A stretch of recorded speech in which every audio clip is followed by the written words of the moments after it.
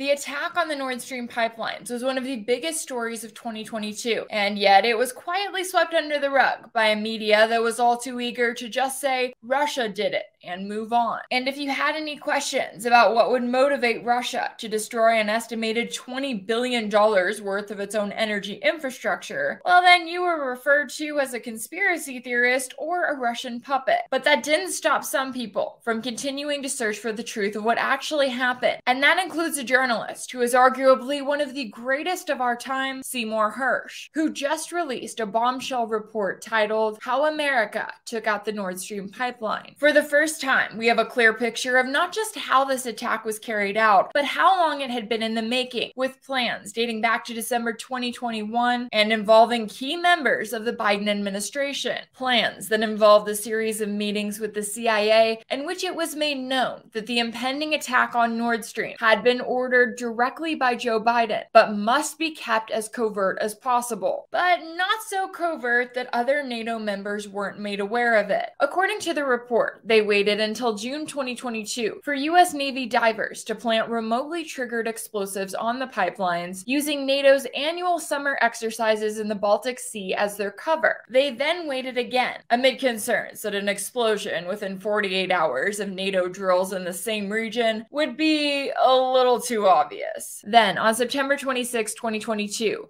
the report says that a Norwegian Navy P 8 surveillance plane made a seemingly routine flight and dropped a sonar buoy. Within hours, the C4 explosives were triggered and the damage was done. But surely, if they were going through so much work to plan such a covert operation, the president himself wouldn't have said something like this publicly back in February of 2022. If Russia invades, uh, that means tanks or troops crossing the, uh, the, the, border of Ukraine uh, again, then uh, there will be uh, we there will be no longer Nord Stream 2. We, we will bring an end to it.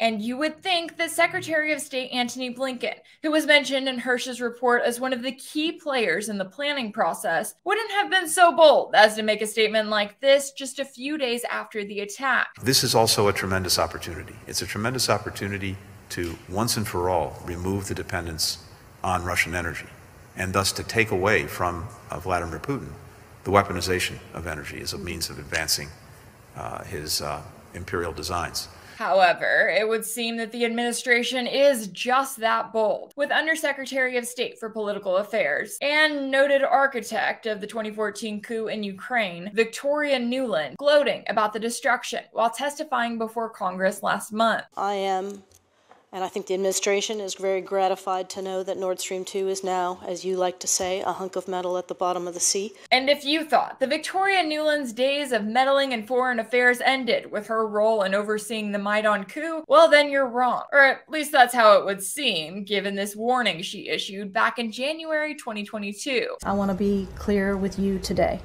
If Russia invades Ukraine, one way or another, Nord Stream 2 will not move forward.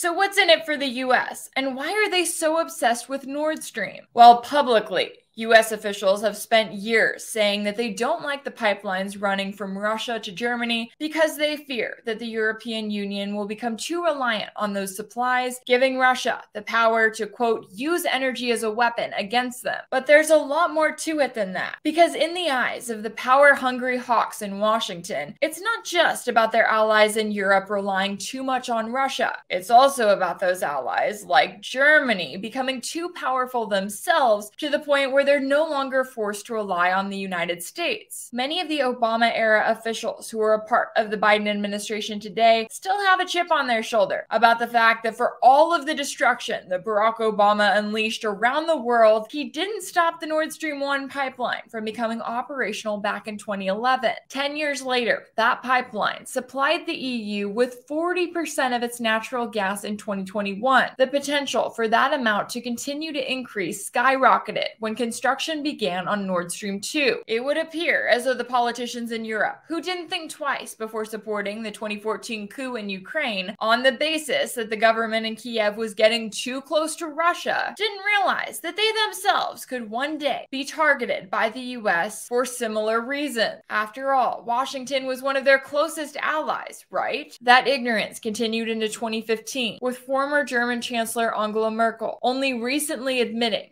that the Minsk agreements were meant to, quote, give Ukraine time to prepare for war with Russia and had nothing to do with ensuring long term peace between Kiev and the newly independent republics in the Donbass. Yet Merkel continued to fight for Nord Stream 2 up until she left office in 2021 just after the construction of the pipeline was completed because she knew it was what was best for her country's economy and it was what the people of Germany wanted. She tried to address all of the concerns, including those coming from Ukraine and Poland, about the revenue they would lose from gas transit fees if Russia sent its supplies through pipelines alone. But in the end, Merkel would lose the bet that the US would target everyone except for its closest allies. She was then replaced by Olaf Scholz, Germany's spineless new chancellor chancellor. He gave in to pressure from Washington and agreed to suspend the certification of Nord Stream 2 on the same day that Russia announced it would recognize the independence of the republics in the Donbass because the Minsk agreements that were supposed to bring peace had been completely ignored by Ukraine. Months later, the same Nord Stream pipelines that were once an energy lifeline for Europe would be the target of an unprecedented attack. Media and politicians alike would rush to the conclusion that surely, without any evidence, it had to be Russia's fault, and those claims would be used to justify excluding Russia from any of the official investigations into the attack on its own pipeline. But then, earlier this month, Germany's Attorney General quietly admitted there was no evidence that Russia had any involvement in the Nord Stream attack, and the world was expected to just move on and to ask any questions. Certainly not questions such as, if it wasn't Russia, then who was behind the attack? I guess it's no coincidence whatsoever that just two days after the Nord Stream pipeline was attacked, the new EU funded Baltic Pipe gas pipeline went online with the purpose of transporting natural gas from Norway to Denmark and through the Baltic Sea on to Poland. It wouldn't make any sense at all for the US and Norway to work together to sabotage Nord Stream, cementing themselves as Europe's top suppliers of natural gas. But instead of asking those questions, the establishment media chose to question the character of Seymour Hersh instead. Also also known as the legendary journalist who won the Pulitzer Prize for his work exposing the cover up of the My Lai massacre in Vietnam. They insisted that Hersh was controversial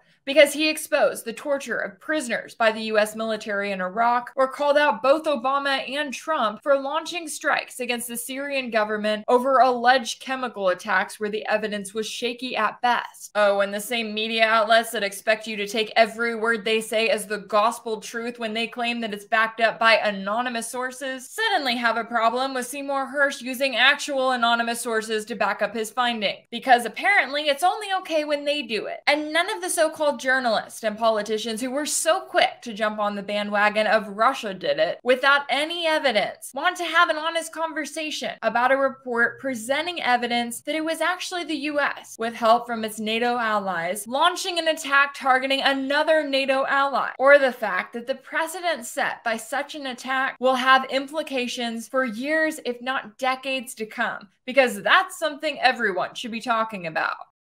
If anything in this video resonated with you, be sure to like it, share it with your friends, leave a comment, and as always, don't forget to subscribe. If you want to keep up with the latest breaking news, subscribe to my channel on Telegram and be sure to join my group there. And if you haven't yet, follow my channel on Minds.com, where you can find the latest updates on my work. Or if you want to tune into my weekly live streams, give me a follow on Rokfin, Rumble, and Odysee. I look forward to seeing you there.